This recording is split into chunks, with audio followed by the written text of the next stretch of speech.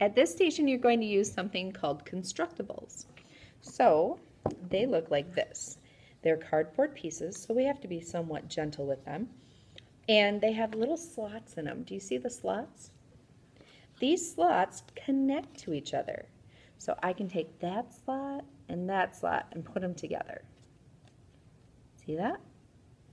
Now, what I can do is take different pieces and start building them together to create something amazing.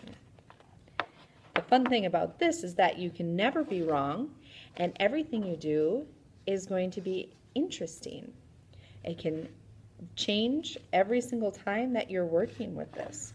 So, ooh, this one's broken a little bit. Uh, that means that someone wasn't so gentle.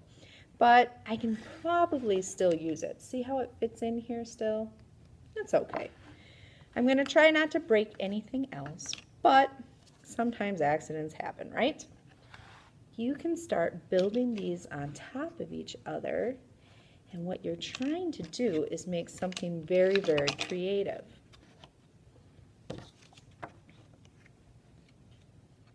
When you're done at this station, make sure that we pull all of these down. Again, being very, very careful with them because we don't want to break them more. We want to use these as long as we can. And I'm pulling them all apart gently. And then I'm going to start putting them back in this box. And if I lay them nice, they'll all fit in here.